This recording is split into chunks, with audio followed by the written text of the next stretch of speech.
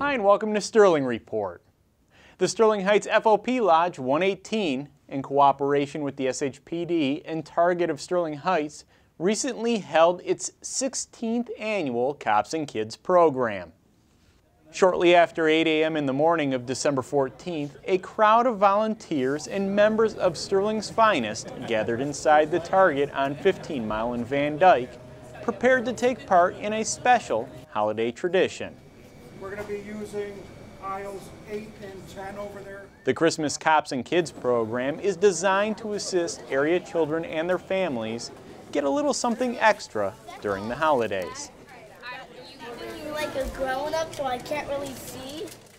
As the children arrived, they were paired up with Sterling Heights police officers and given free reign to spend up to $120 on anything they wish.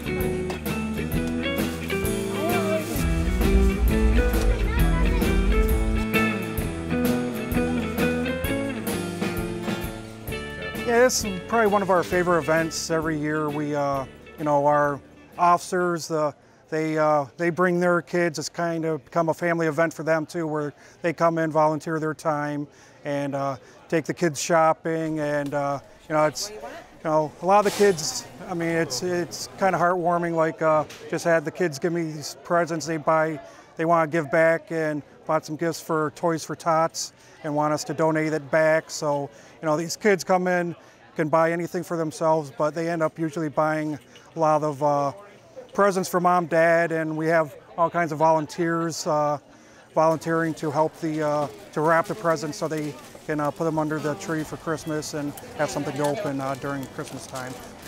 With the gifts wrapped, the children left the store knowing they and their families were going to have a very Merry Christmas. And that brings the last Sterling Report of the year to a close. Enjoy the holiday season and have a happy new year.